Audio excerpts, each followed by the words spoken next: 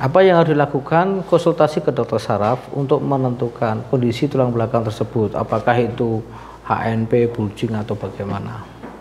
Jadi saraf kejepit itu bukan penyakit, tapi itu akan mengganggu, menyiksa. Betul kan? Itu loh. Sekarang apa yang harus harus bersahabat. Masih sudah terasa ya? Oke, kita akan lanjutkan bab 2. Ini, ini sakit sekali. Ini sudah satu tahun mas ya? Ini tekan-tekan toh mas? Pijitnya? Oh itu tambah sakit ya? Itu loh.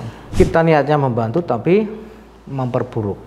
Karena apa tadi? Tidak memahami tentang tadi anatomi tadi. Nah, hati-hati dengan huk huk huk huk huk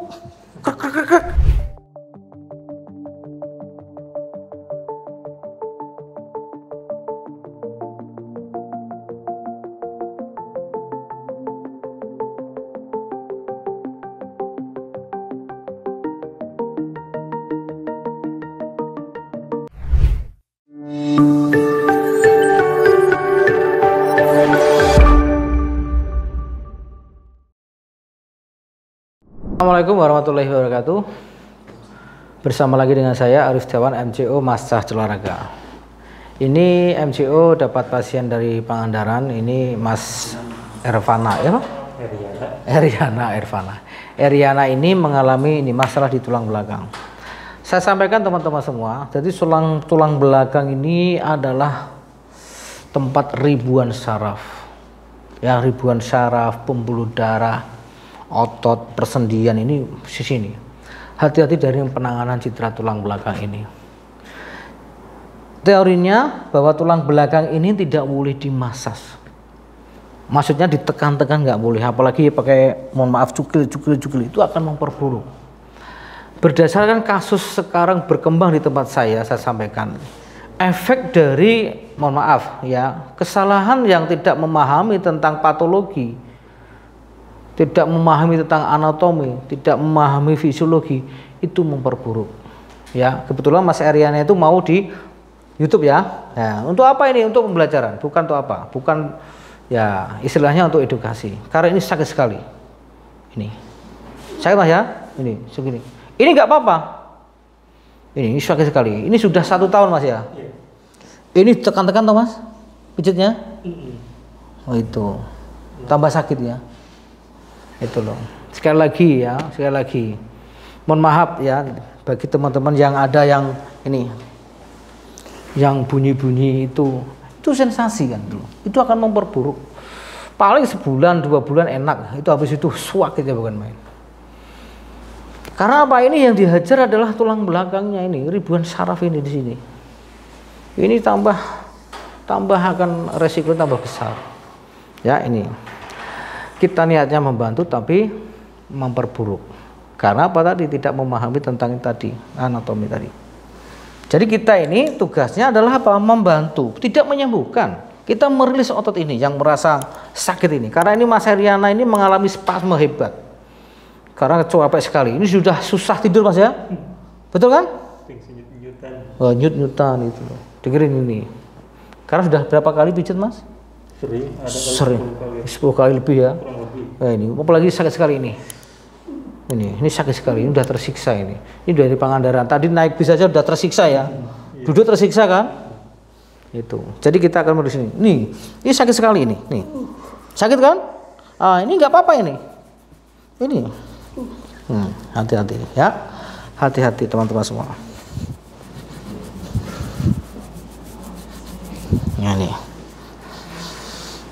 ini kalau teorinya ini ditekan-tekan itu akan memperburuk. Itu loh. Ya memperburuk. Hati-hati ya hati-hati. Hati-hati dengan proses penanganan tulang belakang. Yang bunyi itu bukan tulangnya. Ya sekali yang bunyi itu bukan tulangnya. Bukan tulangnya geser. Ini tulangnya nggak geser ini. Nggak geser itu. Ini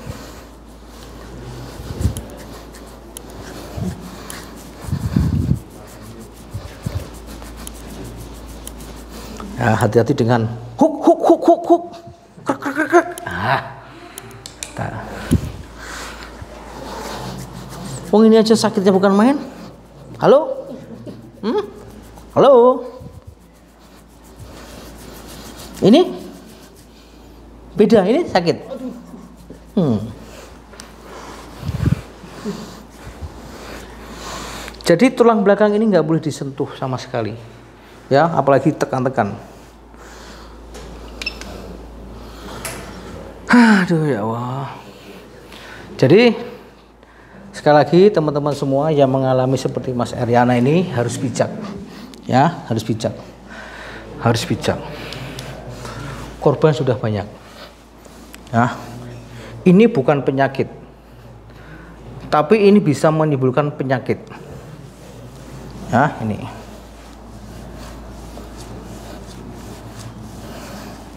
Nah, ini sudah sudah tidak seperti sakit tadi. Ini. Ini sudah jinak. Cuma ini aja selesai. Sakit tidak? Ini sudah tidak apa-apa ini. Betul kan? Sudah nyaman kan? Napasnya lega kan? Itu. Tadi nyesek biasanya, ya. Nyesek separuh napasnya ya kalau malam. Nah ini. Tapi ini sakit sekali teman-teman semua. Uh ini, ini sakit sekali ini. Ini tidak apa-apa. Ini bukan saya balik-balik, ini balik-balik. Ini tidak apa-apa. Ini sakit ini. Apalagi ini, oh. Ini. Jadi Mas Eriana itu awalnya tubuhnya bagus Mas ya. Karena kena ini langsung nyusut gini. Karena apa? Tiap malam sudah tersiksa. Betul kan? tidur sah tidur gitu nah ini sudah nggak sakit. Ya ini sudah nggak sakit. Sudah nggak sakit ini nih. Ah.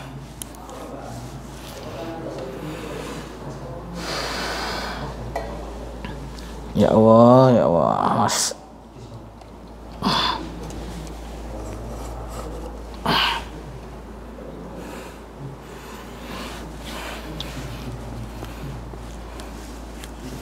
Jadi sekali lagi bahwa masas itu ada ilmunya. Sekali lagi masas itu ada ilmunya. Bukan masas itu keturunan A, B, C, enggak. Masas itu ada ilmunya, makanya bisa dipelajari. Nah itu.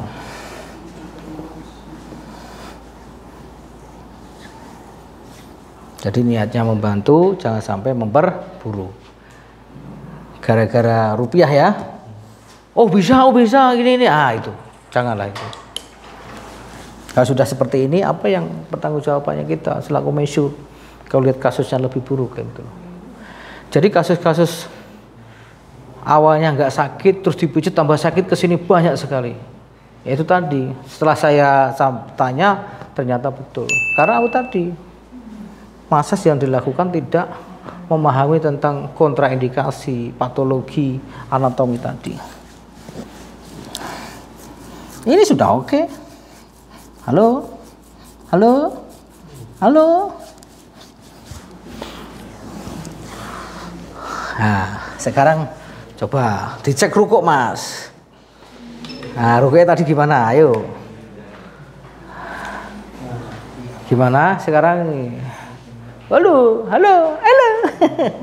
iya, inilah senyum sekarang. Gimana? Eh? Enteng. Ini jangan sampai datangnya sakit, pulangnya tambah sah? sakit. Sekarang tadi datangnya sakit, sekarang Sudah bisa ya? Biasanya di sana pijitnya sakit, pulangnya tambah tambah sakit. Tambah sakit. Karena itu tadi tidak memahami tentang patologi anatomi tadi. Enak kan sekarang? Enak. Nah, sekarang coba disampaikan supaya teman-teman itu berhati-hati supaya tidak mengalami seperti masih itu bagaimana? Hmm, pokoknya gimana ya?